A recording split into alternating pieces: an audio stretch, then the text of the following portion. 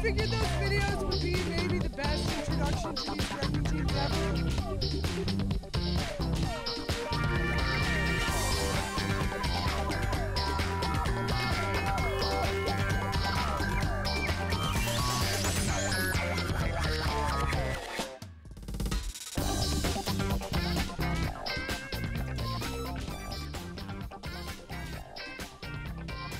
Is that like an incest relationship with the with the two guys who kiss at the end? The two guys. The, sorry, the one No. guy, the tall guy, and the, the g- blonde girl. I think she was. Uh, I wish.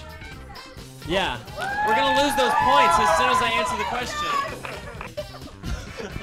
We get a lot of points if we make out.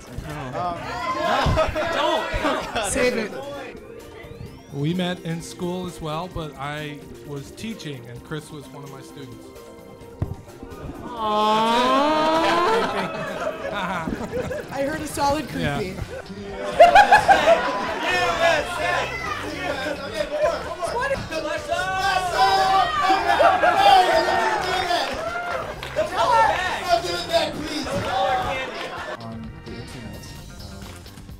and I, I came across this like uh, ehow.com page, um, specifically about how to ride your dog.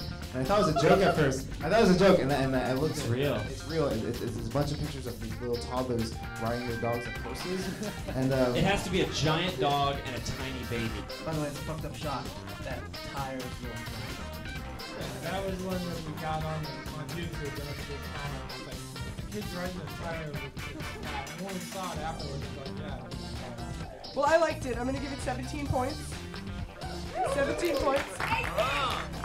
She's corrected me. I meant to say 18. And an extra point for the Little Tokyo Mall. What's the name of the karaoke joint there? Max karaoke. Max Karaoke. We'll go to that I right thought some this. people might know.